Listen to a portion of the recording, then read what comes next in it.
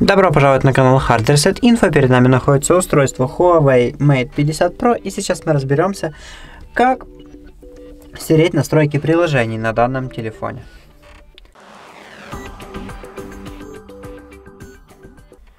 Что ж, для этого мы переходим просто в настройки, после чего идем в раздел приложения и службы, нажимаем на кнопку приложения и нажимаем на кнопку в правом верхнем такие четыре точки в форме квадрата.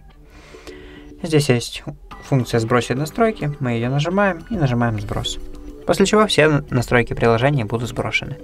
На этом все. Спасибо за просмотр, подписывайтесь на наш канал и ставьте лайки. До скорых встреч!